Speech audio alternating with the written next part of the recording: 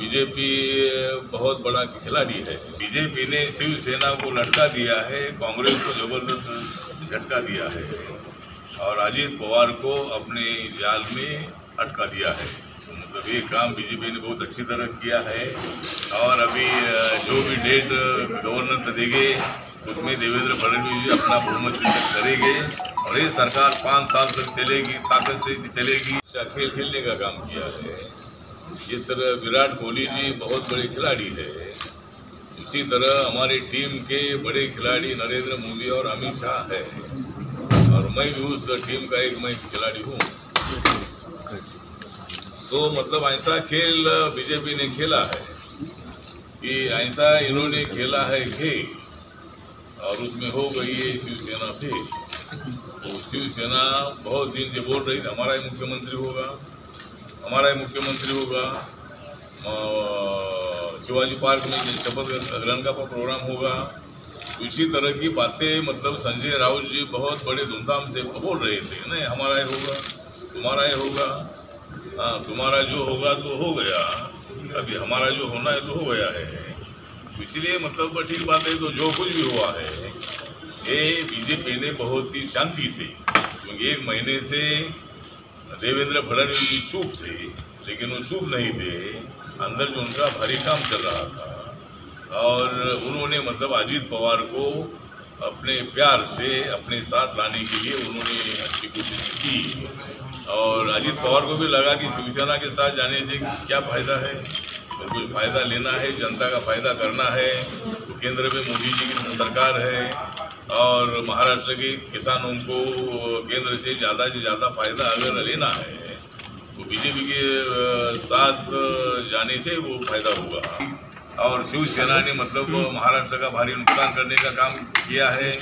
उन्होंने मुख्यमंत्री पद का हट मतलब करके उन्होंने अपनी पार्टी का भी भारी नुकसान किया है। और अभी शिवसेना के भी बहुत सारे एमएलए टूट सकते हैं, क्योंकि अपने हाथ से सत्ता वाली जो शिवसेना है। उन्होंने काम का मुख्यमंत्री पद का आग्रह किया। उद्धव जी बोल रहे थे, मैं नहीं बोलूँगा, फिर कहीं के लिए आग्रह कर रहे थे। कौन बनेगा आपका मुख्यमंत्री? मतलब शिवसेना में उद्धव जी के बगैर दूसरा कोई चेहरा ही नहीं है। और अजीत पवार में कोई झगड़ा नहीं है लेकिन अभी अजीत पवार ने ये सोचा होगा कि भाई शिवसेना के साथ जाने से फ़ायदा नहीं है।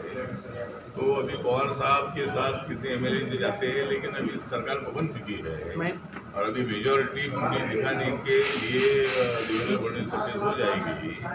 तो लेकिन पवार साहब को मेरा निवेदन है कि पवार साहब राजनीति जानने वाले हैं। और 45 मिनट तक उनकी नरेंद्र मोदी साहब से भेंट हुई थी। तो मेरा शरद पवार जी से निवेदन है कि आप एनडीए में शामिल होना ये भारत के और महाराष्ट्र की हिस्सा है। इसीलिए आप अलग कोई कांग्रेस पार्टी के साथ और शिवसेना के साथ कोई तालमेल करने जो कोई बिल्कुल फ़ायदा नहीं है। मैंने उनको आग्रह किया था कि शिवसेना के साथ मत जाइए। मैंने कांग्रेस को भी आग्रह किया था कि भाई शिवसेना के साथ जाने तुम्हारा इन्हें इमेज एकदम खराब हो जाएगा। लेकिन अभी उन्होंने तालमेल करने की कोशिश की है। लेकिन देवेंद्र फडणवीस जी बहुत बड़े खिलाड़ी हैं। और उन्होंने मतलब एक सुबह सात बजे ही वहाँ अजित पवार जी को लेकर मतलब उन्होंने शपथ ग्रहण किया। इसका मतलब एक क्लियर मेजोरिटी दिखाई गई। ठीक बात है, पवार साहब के साथ कितने एमएलए जाते हैं, क्या है, मालूम नहीं है। लेकिन पवार साहब को अपना स्टैंड बदलना होगा महाराष्ट्र के देश के रिपब्लिकन न्यूज़ से जुड़ने के लिए सब्सक्राइब बटन दबाकर चैनल को सब्सक्राइब करें। नोटिफिकेशन प्राप्त करने के लिए यहाँ बेल को दबाएँ। वीडियो अच्छा लगे तो लाइक करें और दोस्तों के साथ शेयर करना ना भूलें।